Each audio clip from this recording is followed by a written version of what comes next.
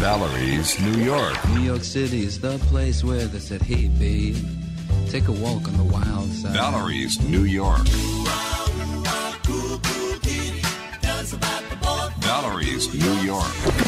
Hello and welcome to another edition of Valerie's New York. I'm Valerie Smaldone.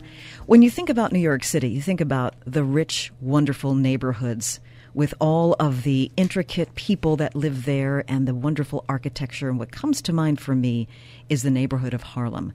Music, culture, food, entertainment, beautiful buildings. And a wonderful time in history was in the 1950s and 60s. That time is chronicled in a new book by Terry Baker Mulligan called Sugar Hill When the Sun Rose Over Harlem. Welcome to Valerie's New York, Terry. Well, thank you. It is such an interesting uh, observation that you have put in the book about your experience as a young girl living, being raised in Harlem with all these amazing characters. Your dad himself was quite the fellow, wasn't he? My dad was quite the guy. He was uh, he was actually drop dead gorgeous. I mean, I look back at his pictures as a younger man before I was actually born. He was also from an interracial marriage, and they were one of these couples that all their children looked white.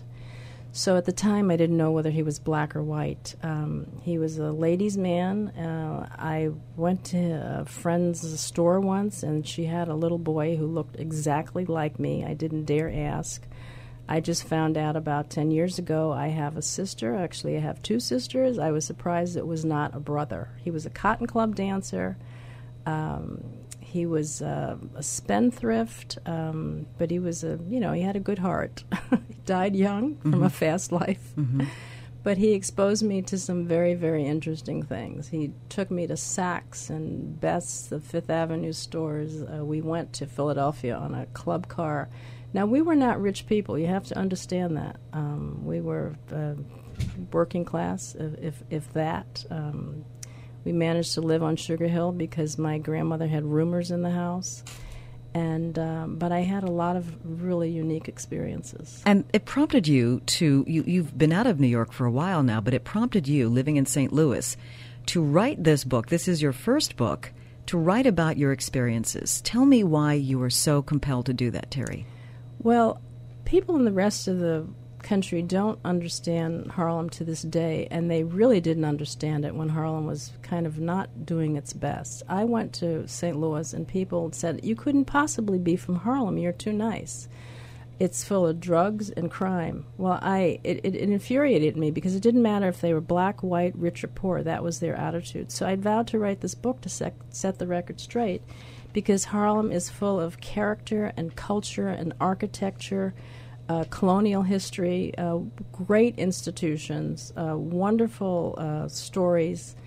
The music industry was for, uh, formative there. The, the religious history, all the black evangelists, the Catholic Church history, and the beauty of the community up there on the bluff. It's like this a magical place in New York that's so starved for light and um, and space. And we had this wonderful view out to the east that was totally open. So, yes, I wanted to set the record straight, and I think I've done that in this book. And the book, of course, is Sugar Hill. You, you live in St. Louis now. What do you miss most about New York City? I am so happy that New York has kind of gotten its groove back. I miss living here. I, uh, it's just such a, a vibrant, exciting place. I get back so often now that I'm re-establishing old friendships. I've met so many new people. My son is here. I've been having a lot of wonderful book events. This is an awesome opportunity this morning. I just I just love it here, and um, we're actually thinking of some ways that you know maybe we could. I don't think my husband would move back full time, but some ways that maybe we could. Uh, manage to just have a little bit of a presence here. A little pied a terre somewhere in Harlem, I'm sure. Yeah. Right. So you growing up 50s and 60s, Terry, your dad amazing character. Who else did you come across in your young life?